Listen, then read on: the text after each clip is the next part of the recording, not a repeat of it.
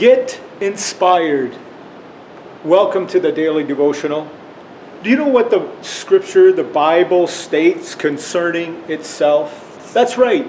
The Word of God gives testimony concerning itself. 1 Timothy 3:16 All scripture or every scripture is inspired by God and is profitable. This is the witness of the word to itself. The Bible is chock full of scriptures, scripture verses attributing to its veracity as the Word of God. Why do we consider the Bible to be the inspired Word of God? Well, it declares some 2,000 plus times alone in the Old Testament that the Word of the Lord came unto me, or this is what the Lord is saying in the Old Testament alone. It claims, according to Paul, that, as we've stated, every scripture is inspired by God. The original language uh, has the sense of it's, it's God breathed, God spoken. St. Peter tells us scripture originates from the heart and mind of God. It is transmitted and attended to, superintended by the Holy Spirit. It is called traditionally the Holy Bible for a reason. Peter tells us that holy men of God were inspired by the Holy Spirit and they wrote a holy book.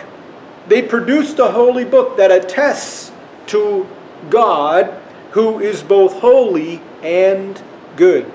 Someone said John 3:16 tells us about the Savior, the Son of God, given to the world, and 2 Timothy 3:16 speaks of the scriptures given divinely through inspiration of the Holy Spirit.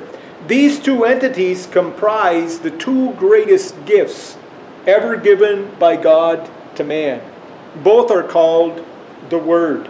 Jesus Christ, the living Word, and the Bible, the written Word of God. One of the most favorite passages concerning Christ, the living word, is Hebrews 13 and 8. Jesus Christ, the same, yesterday, today, and forever. Times may change, our lives may change, the world may change, but Jesus never. One of the favorite passages of, of, Scripture about the Bible states this Thy word is a lamp to my feet and a light to my pathway. God's Word gives us inspiration and hope and comfort and confidence in a world of trouble. Again, the two are very unique. No one else has ever lived like Jesus. And no other book has ever been written like the Bible. The written word presents Jesus as both human and divine, the God man. The scriptures present themselves as written by human authors, yet human beings guided and superintended by the Holy Spirit. Hundreds and thousands of times, these human authors spoke and wrote as the oracles or with the authority of God. Christ came down from heaven according to his own testimony. He himself said, Though heaven and earth will pass away, my word shall never pass away. Just as Christ the Savior was without sin, even so Jesus said concerning the Scriptures, they are without error. He stated plainly, the Scriptures cannot be broken. To put it in the vernacular, Jesus said, Not one dotted I nor crossed T shall pass from the law until all things be fulfilled. Jesus came as the Savior of the world, and the Scripture tells us that we can be saved, and we can, we can, and how to be saved, and that we can know we are saved. Listen to the words that fell from the pen of the Apostle John in 1 John 5 and 13. And this is the testimony that God has given us eternal life and this life is in his Son.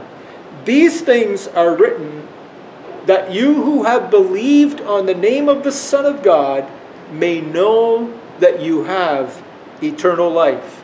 This is good news in the face of our mortality before, with, or after coronavirus is long history.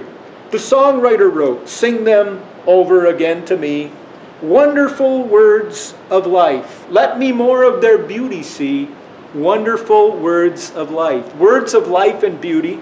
Teach me faith and duty, wonderful words, beautiful words, wonderful words of life, wonderful words, beautiful words, wonderful words of life.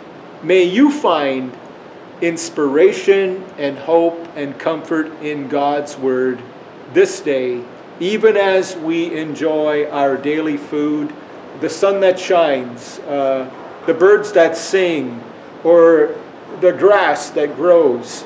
God's Word will outlast them all, and Christ will reign eternally. God bless you.